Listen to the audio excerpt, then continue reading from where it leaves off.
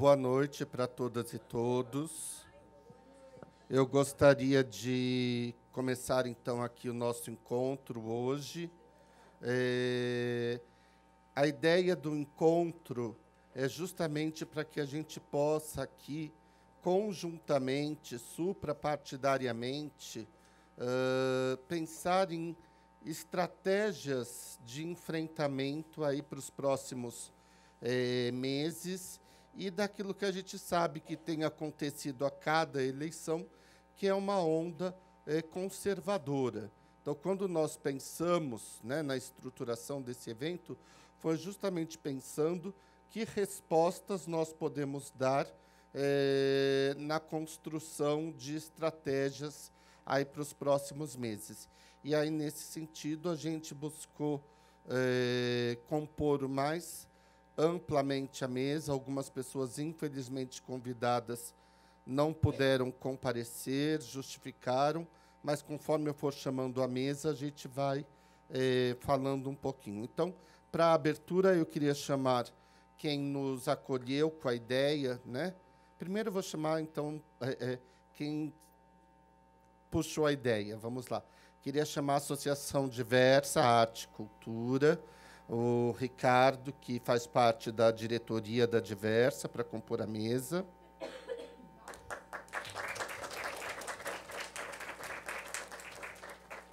E agora quem nos acolheu, né, que é a vereadora Soninha Francini, que foi através do mandato dela que a gente conseguiu estruturar aqui esse encontro.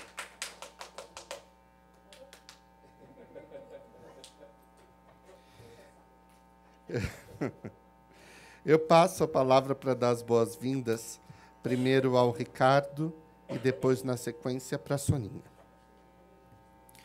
Boa noite a todos e todas. É, em nome da Diversa Arte e Cultura, é, dou as boas-vindas a todos aqui presentes e enfatizo aqui a ajuda, o auxílio do mandato da Soninha para a realização desse evento de políticas públicas LGBTs, tá? Que é um, é um, um ato importante, é uma reunião extremamente valiosa para todos aqui. Tenho certeza que cada um daqui vai sair mais rico e com mais sabedoria em relação a isso. Obrigado.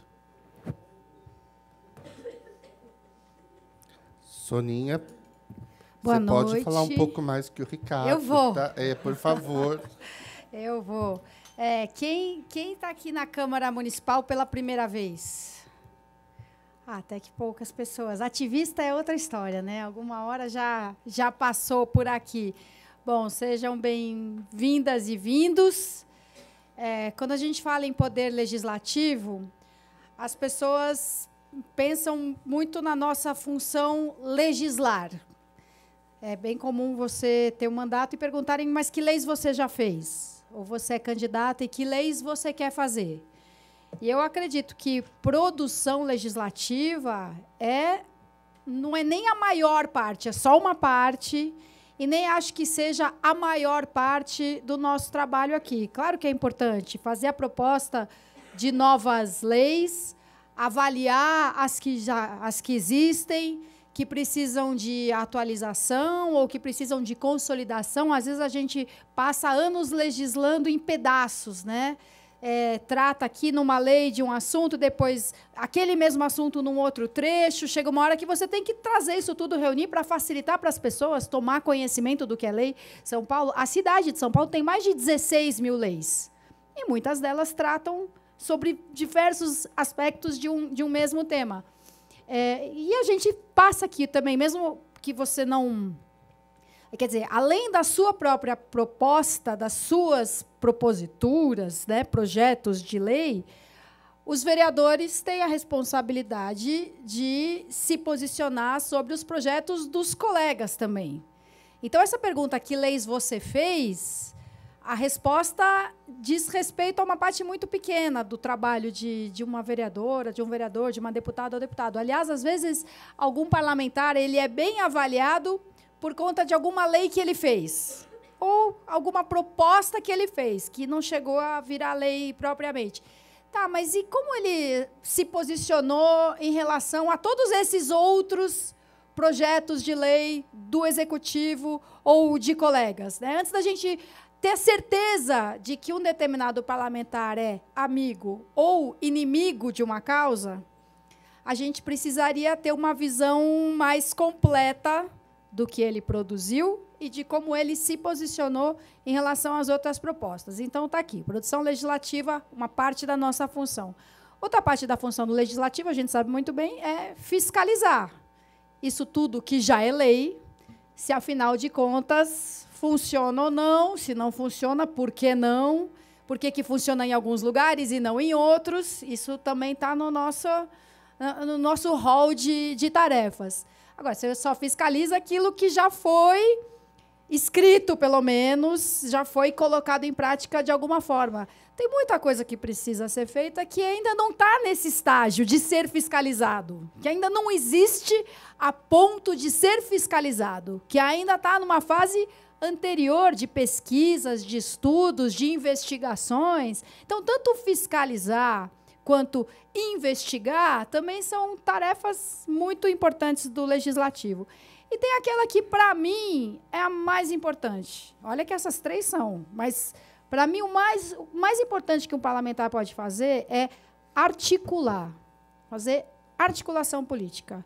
Porque quando você. Existem algumas coisas que não dependem necessariamente de produção legislativa, que não estão aí exatamente para serem fiscalizadas e que podem ser colocadas em prática quando você reúne os atores para agirem juntos. Então, podem ser esferas diferentes de governo, municipal, estadual, federal, podem ser é, instituições diferentes. A gente consegue construir algumas coisas. Vou dar um exemplo que não foi nem iniciativa de ninguém do legislativo. Ah, o GVID, o Grupo Especial do Ministério Público de Atenção às Mulheres Vítimas de Violência Doméstica. Doutora Fabiola Sucassa. Ela é uma grande articuladora ela vai muito além de executar o seu trabalho de promotora do Ministério Público. Ela conseguiu produzir uma cartilha incrível de enfrentamento à violência doméstica para ser distribuída por agentes da, de, de equipe da saúde da família.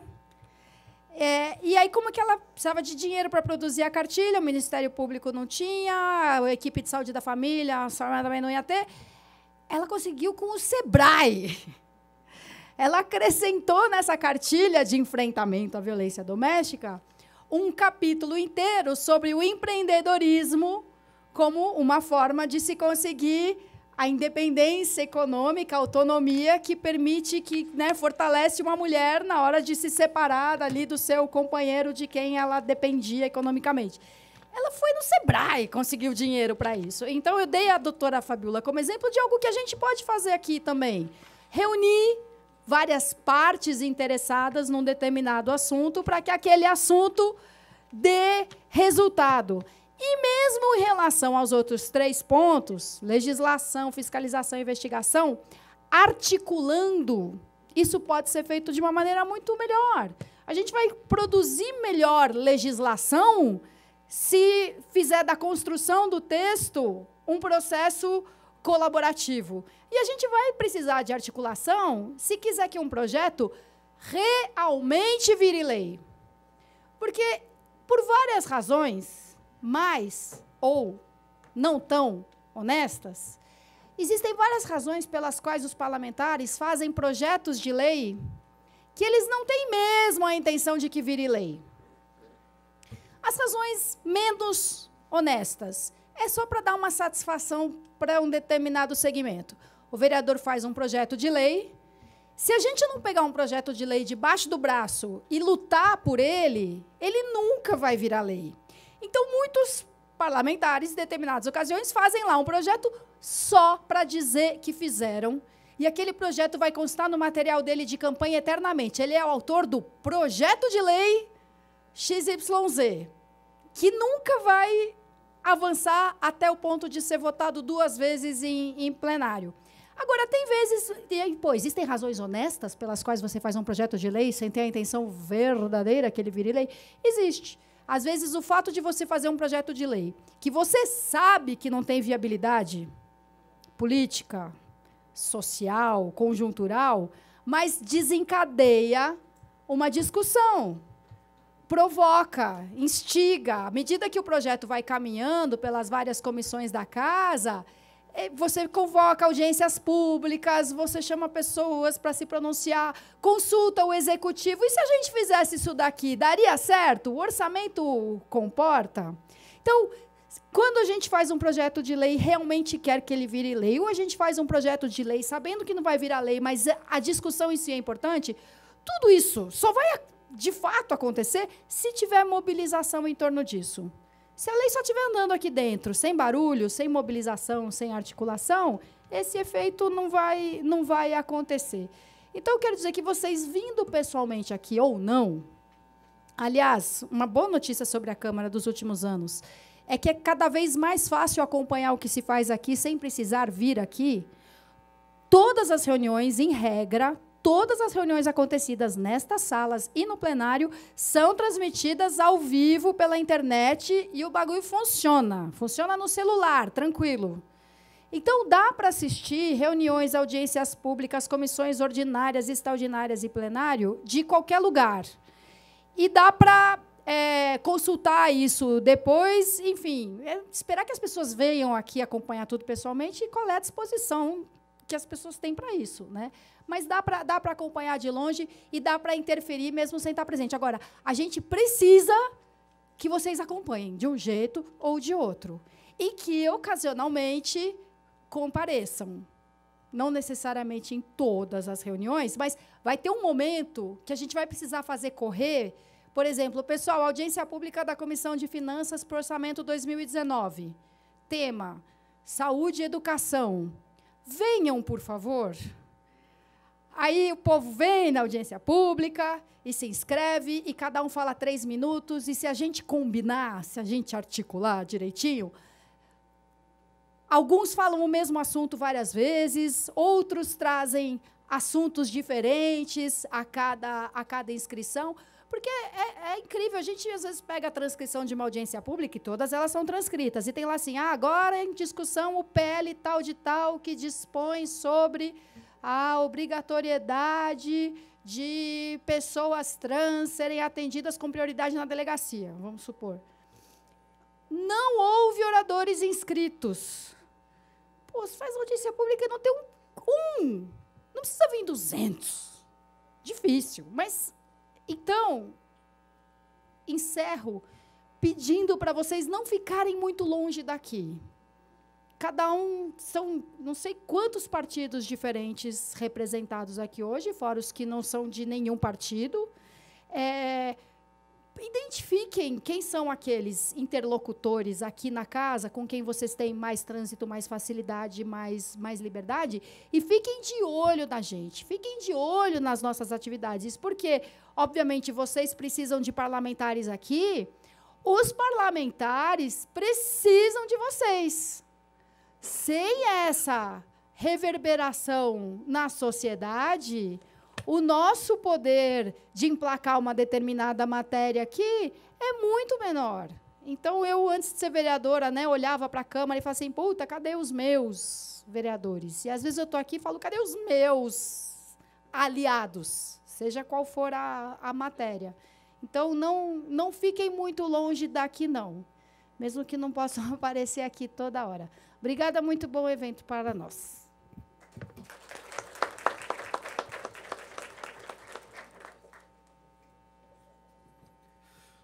Bom, é, dando continuidade, antes da gente iniciar aqui o debate, nós vamos ter uma apresentação do Salomão. Os... Posso? O Salomão ele vai é, trazer para a gente um pouco a questão de um panorama político né, é, mais amplo, para que depois desse panorama político mais amplo, a gente possa falar um pouquinho aqui das nossas especificidades.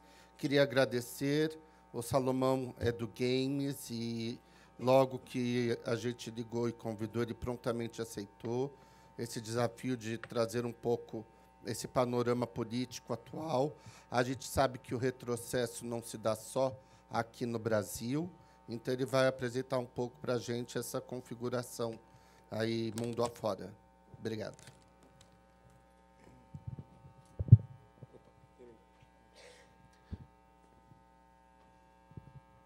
Boa noite a todas, a todos. É um prazer estar aqui com vocês nesse ambiente tão seleto e tão agradável para a gente discutir o que, o que já avançamos. Eu gostei muito do, do título que foi proposto para essa noite de hoje. Né? Avanços tem três exclamações, mas também gera uma reflexão dos avanços que queremos e precisamos conquistar ao longo dos próximos anos. Né? E cabe aqui uma reflexão. Eu queria, primeiramente, agradecer a vereadora Soninha, quem é, estimo bastante pelo convite, ao amigo Cássio, que também é uma pessoa que eu acredito e que acompanha a carreira e a trajetória. Então, muito obrigado em meu nome, em nome do Games, pelo espaço citado. Eu também quero agradecer aos amigos que vieram prestigiar aqui e todo o apoio que vocês deram e a todos e a todas que já estão aqui para essa discussão. É... E aí é interessante, né, que quando a gente traz o tema de políticas públicas, é, é um tema que ele naturalmente a gente está falando de policy e não de politics. Quando a gente fala de policy, a gente está falando de algo que é suprapartidário, é algo que é visando o interesse e o bem comum, né? seja de uma determinada população, seja de uma sociedade como um todo. Então, o objetivo hoje aqui dessa apresentação, que eu espero que norteie o debate que vai acontecer, a gente poder pensar um pouco acima de qualquer divergência ideológica partidária que possa haver que há né, entre cada um de nós, que a gente possa visualizar o que precisa ser feito é, do ponto de vista pensando na, na população LGBTQI+. É, acho que dispensa apresentações. Opa, assim a gente vai, vai dormir ou no escurinho da câmara, não é mesmo? e aí, é, de forma sintética, é, eu gostaria de trazer três perspectivas, tá? Temos um copo. Ó, oh, engraçado, tá bem aqui, exatamente no ponto que eu queria. Um copo que a gente pode olhar ele meio cheio, né? Ou meio vazio, tá? E aí, quando a gente começa a olhar o copo meio cheio, a gente para e pensa em alguns avanços que ocorreram aí ao longo dos últimos anos e trazendo aqui um olhar inicial a nível global, a nível multilateral. Né? A própria Declaração Universal dos Direitos Humanos, de 1948, traz que todas as pessoas nascem livres e iguais em dignidade e em direitos, né? e todos são iguais perante a lei sem distinção de qualquer natureza. Ao mesmo tempo, mais recente, a Declaração Conjunta da ONU né, e a resolução da OEA, OEA, Organização dos Estados Americanos, traz orientação sexual, identidade e gênero como direitos humanos, ou seja, garantir o direito né, à vida e a todos os direitos que as pessoas LGBTQI+, precisam ter, são direitos, é lutar e preservar pelos direitos humanos.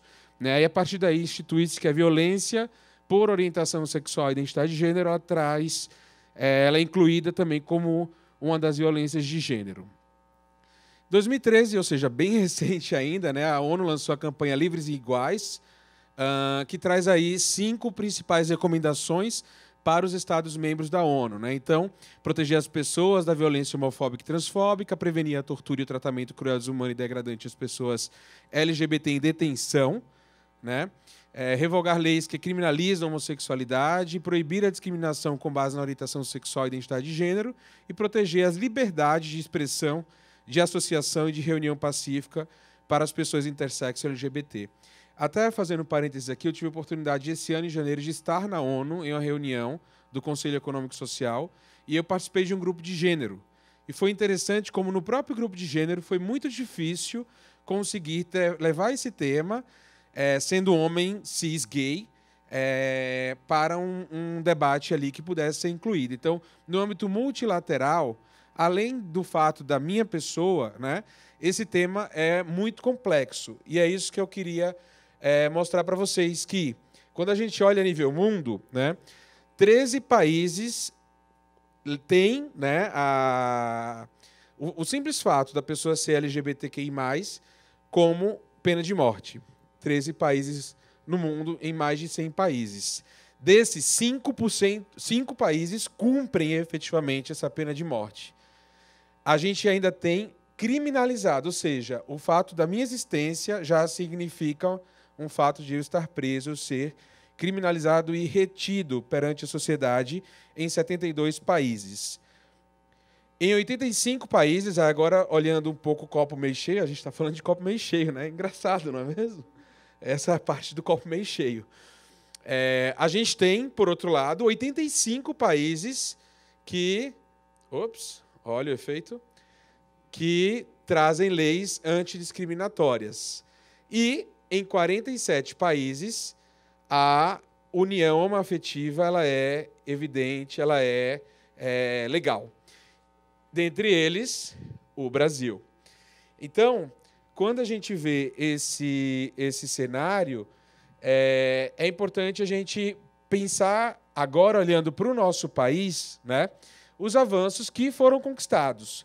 E quando eu falo em avanços conquistados e olhando o copo meio cheio, não estou falando para a gente aplaudir, sair, tomar uma breja e, e, e, simplesmente ficar com a cabeça tranquila. E vocês vão perceber que na própria volatilidade que existe em nosso país, eu acho que é importante é, é, dizer que faz parte de um sistema democrático, mas que a gente precisa garantir que essa democracia traga né, os direitos a todas as pessoas. Então, a Constituição brasileira, é, ela, a nossa nova Constituição, né, que data de 1988, ela traz aí três artigos em que deixam muito claro é, a questão é, da proteção né, a, a todos. Então, o próprio artigo 3 né, que é a cláusula pétrea, é, ele efetivamente fala da sem preconceito de origem, raça, sexo, coidade e qualquer outra forma de discriminação. O artigo 5 que traz as garantias aos direitos fundamentais. E o artigo 19, que traz a questão do Estado laico. Né? Então, a gente vê que na nossa Constituição existe, de uma forma não direcionada, mas que a gente está protegido, né? Uh, e a partir, sobretudo, do ano de 95 em São Paulo, 95 de forma ainda não estruturada, mas em 97, né, os, os nossos colegas aí que acompanharam podem até falar com mais clareza da própria parada LGBT aqui, que, aqui em São Paulo, que hoje existe em todo o país, trazendo visibilidade. Né? É, é um, isso seria um tema à parte, né? os desafios que hoje ocorrem, está aí o Rio de Janeiro 2000 2018, né? Mas também está aí Praia Grande 2018. A primeira parada LGBTQI mais de Praia Grande vai acontecer é, no próximo mês. Então a gente pode dizer que a gente teve uma expansão nessa visibilidade, na própria mídia, etc. É, no judiciário, aí a gente também tem a linha do tempo, né? Em 2011, a união estável homoafetiva. Em 2013, a celebração de casamento civil ou a conversão da união estável em casamento. Dois anos depois, Logo, em dois anos depois, a gente teve a Carmen Lúcia com recurso lá do STF alterando a definição de família, permitindo a adoção de crianças e adolescentes por casais do mesmo sexo, do mesmo gênero. E esse ano, aí bem recente, né, a gente tem a retificação do registro civil para por mulheres, homens e mulheres e homens trans e travestis nos cartórios por meio de autodeclaração, né, sem ter que passar por todo o, o processo, inclusive da própria, da própria cirurgia, né? A, a partir desse ano também, a autodeclaração das pessoas transgênero. Então, eu estava lendo a matéria recentemente que tem várias pessoas é, transgêneras que estão, que vão votar já com nome social. É, e a partir de, na verdade, em junho agora, né, foi discutido esse tema que entrará em 2019 na pauta que vai deixar de classificar pessoas trans como doentes mentais na OMS, ou seja, a mudança na classificação do CID-11. Tá? É, então, isso também é outra questão que está sendo discutida. A gente pode ter hoje algumas leis que recentemente né, foram lançadas, estatutos. A própria Lei Maria da Penha, que evidencia a não discriminação às pessoas LGBTQI+, é, o Estatuto da Juventude, de 2013, o Estatuto da Pessoa com Deficiência, ou Lei Brasileira de Inclusão, LBI, que também em 2015 traz a não discriminação por orientação sexual e identidade de gênero. Por outro lado, o Estatuto do Idoso, ainda não conseguiu incluir. Né? Tem aí o projeto de lei do, de autoria do deputado Jean Willis, que é, não foi adiante e parou essa tramitação muito por conta da, da, do conservadorismo que existe hoje no Congresso. A mesma coisa o Estatuto da Diversidade Sexual e de Gênero, que foi, por iniciativa popular, é, levado para o Congresso Nacional em, em 2017 é, pela Comissão da Diversidade Sexual e de Gênero da OAB com movimentos sociais, com 100 mil assinaturas e 100 organizações participantes. Bom, por outro lado, a gente tem um copo meio vazio, né? Que também é importante a gente ter isso claro e acho que a maior parte de nós aqui não só sabe desses números, mas lida com, é, com esses números né, e com essas informações do dia a dia. Né? Seja pela morte de algum ente querido, seja por todos os, os processos aí que a gente vive ao longo da, da, da realidade que a gente encontra. Né? Que é saber que a cada duas horas uma pessoa LGBTI que mais é agredida no Brasil, a cada 25 horas assassinada, a expectativa de vida de uma pessoa trans no Brasil é de 35 anos. Hoje, o Brasil, a expectativa de vida é maior do que 80 anos. É, a gente tem uma disparidade muito grande nesses, nesses números. E a taxa de suicídio de jovens homossexuais é uma das maiores do Brasil, do país. Então, são números alarmantes que, que retratam né, a realidade que a nossa população vive hoje e que a gente precisa encarar, né, de, de entender a forma que podemos, através de políticas públicas, modificar essa realidade.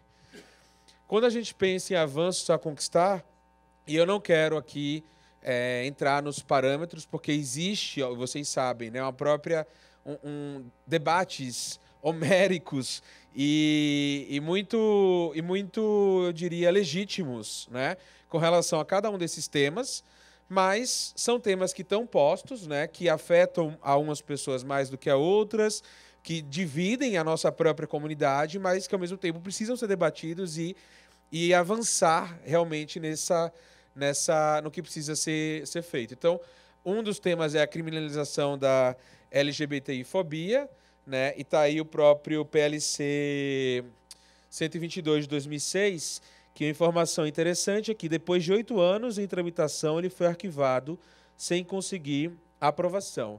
Né? Então a gente vê hoje nos próprios estados uma desigualdade. Aqui em São Paulo, vocês sabem, tem a lei 10948, né?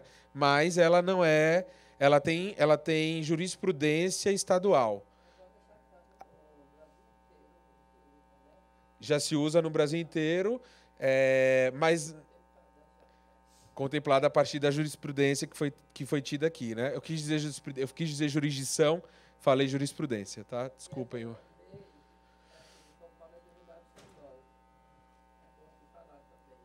Tá bom. Sim, sim, do Reinaldo. Sim. Qual que é o ano, Cássio? A lei 10948? 2001. Perfeito. Obrigado pela complementação. É, a gente está falando aí da união estável aprovada, né? Pelo próprio Conselho Nacional de Justiça né, e o casamento civil, porém não é regulamentado pelo Congresso Nacional. Então, também é outra questão que, se for levado uma lei adiante, isso pode, a gente pode ter um retrocesso desse direito garantido e a gente pode ver que a maior parte dos avanços que tivemos veio do judiciário. Né? Então, realmente, a gente não consegue ter uma ampliação é, no debate em termos legislativos. Um outro ponto, né, dentre vários, várias questões que precisamos discutir, educação para a diversidade. Né? A gente sabe hoje como o bullying ele acontece de forma muito drástica nas escolas, levando muitas crianças e adolescentes LGBTQI+, a uma evasão escolar, né? e fomentando ainda mais esse, essa marginalização que existe hoje dentro da nossa população. Então, quando a gente fala educação para a diversidade, vai de todo esse debate e ações que possam reduzir o bullying e essa evasão, promovendo na escola e no lugar escolar um lugar seguro, acolhedor para as nossas crianças e adolescentes. E aqui vai, vai mais. Hoje eu tenho discutido diversidade em diversos aspectos e eu vejo como nas universidades também há uma falta de se pensar em educação para a diversidade. Né? Então, os nossos jovens eles saem para o mercado de trabalho, para o governo, a partir do, da participação no ensino universitário, sem entender a importância de ter espaços, né, ambiente de trabalho efetivamente diversos e inclusivos. Né? E aí, nesse caso, eu estou falando de uma forma geral, para mulheres, para negros, negras, pessoas com deficiência e todas as é, diversidades que existem. E, por exemplo, também a questão da doação de sangue por homossexuais. Eu, particularmente, é, adoraria doar meu sangue, uh, mas eu não posso, por ser gay. Né? Então, como que, eh, como, que, como que ainda hoje, nos anos 20, né, quase anos 20 do século 21, ainda temos essa, essa barreira, né? Dessa portaria que também gera esses, esses entraves. Então, como que a gente pode, né? É, e aí, enfim, tem uma série de outras coisas que eu vamos deixar para o debate. Então, quando a gente olha o copo meio cheio e o copo meio vazio, a gente sabe que tem um copo ainda a completar de água, né? O nosso copo precisa estar tá 100% cheio, né? E nessa sala aqui está a jarra, que são as pessoas que de fato irão, através de seus conhecimentos, através de suas vivências, experiências, encher o copo, que é o copo da, inclu da inclusão, da diversidade, garantindo que todas as pessoas sejam efetivamente incluídas. E aí, como que a gente pode uh, avançar? Então, eu trago alguns temas aqui, tá? De novo, são provocativos, para que a gente possa discutir, né, como coletivo, como grupo, aí e dentro do painel, em como essas questões podem ou não podem, ou fazem sentido ou não fazem sentido, e adiante. Então, por exemplo, primeiro ponto que eu gostaria de falar é como no nosso legislativo não há representatividade LGBTQI+. Só alguns dados que eu peguei do hashtag Vote LGBT, 4,5% da, popula é, da população brasileira entende-se a partir de pesquisas que seja LGBT. Eu acho que esse número é bem maior, mas aqui evidentemente declarados. Né? É... Na Câmara temos 0,02%, um deputado. Vendo essa disparidade em outras questões, mulheres, 50,6% da população brasileira é, é de mulheres, 10,5% na Câmara. Negros, 55,4%, 54%, 55%. Na Câmara, 20,2%.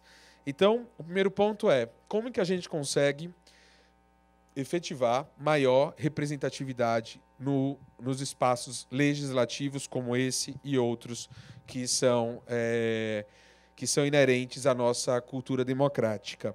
O segundo ponto é de que forma a gente pode pensar em uma articulação conjunta que possa reunir diversas pessoas, indivíduos, em uma só uh, em uma só causa de forma única, sintética, para que essa pessoa consiga gerar os retornos para determinada causa ou população. E aí eu trago o exemplo da bancada ativista.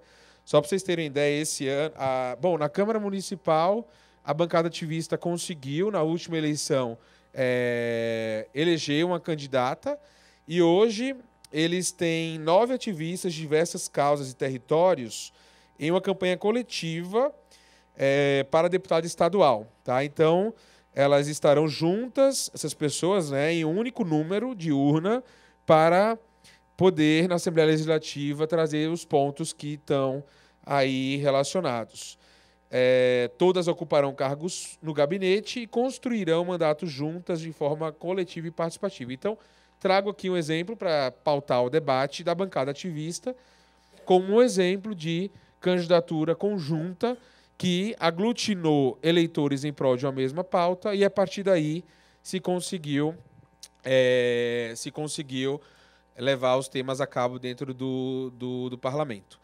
Uh, um terceiro ponto é o fortalecimento dos movimentos pluripartidários. Né? Aqui a gente está falando meramente de advocacy, né? e aí está o exemplo da Aliança LGBTI, uh, que faz um trabalho super relevante, inclusive em todo o território nacional, né, mas com foco muito, muito forte em Brasília, de realmente ampliar, e aí já puxa com o próximo ponto, o diálogo com parlamentares, inclusive parlamentares de direita liberal. Tá? E quando eu falo direita liberal, é importante a gente lembrar que, por mais que os movimentos de esquerda eles tragam a temática de direitos sociais, né, e a gente, como a maior parte da, do ativismo esteja na esquerda, na direita, é, não extrema-direita, eu, eu realmente não. Me ajudem, eu não conheço, mas existe uma direita, ou centro-direita liberal, que também é, que também defende os direitos sociais e, e a garantia de direitos humanos, inclusive para a comunidade LGBT. Então, é importante ver como que a gente pode ampliar esse diálogo e se tornar realmente uma maioria no Congresso ideológica. E, por fim, como que a sociedade civil organizada, os movimentos sociais, né, os próprios partidos políticos conseguem engajar e atuar mais para gerar esse, esse, esse, esses avanços que a gente né, tanto deseja, não só como pessoas LGBTQ, mas como sociedade. Né? Eu, tenho, é, eu tenho a impressão que o copo ele está meio cheio, mas ele pode reduzir, mas ele também pode aumentar. Né? A gente, sem querer endeusar, mas trazendo aqui até um exemplo, a gente vê como a bancada conservadora, e eu não, me desculpem que eu não desliguei meu celular. É, como a bancada conservadora ela se estrutura né, de modo a conseguir, de fato, espaços e, e reverberar sua voz dentro dos, das casas legislativas. Né? Então, assim, eles têm feito a campanha, têm conseguido, e aí a pergunta é como que a gente pode é, observar talvez metodologias e tentar da forma metodologias adequadas, óbvio, né? E pensar no que, que a gente pode também é, percorrer para atingir com que a, a, o nosso pleito, o que a gente gostaria, o que a gente precisa, realmente seja efetivado. Então, bom, sem mais delongas, é, o objetivo era realmente fazer um overview, um panorama inicial, e eu espero que no debate possamos aí não só é, ouvir os colegas, mas ouvir a todas e a todos nessa construção que é nossa, que é coletiva, que é conjunta, sabendo que se a gente não se unir e não se organizar, todos os avanços, ou parte deles, seja menor ou a maior parte deles, pode virar retrocesso. E a gente de retrocesso não vive e a gente não quer mais. Então, vamos trabalhar e vamos à luta juntos, como se fala, né, dentro como a própria Sonia trouxe, juntos, juntas e juntes em uma só bandeira, que é a bandeira que representa aí é, a todos e a todas, né? E todas as outras bandeiras que também nos representam. Muito obrigado.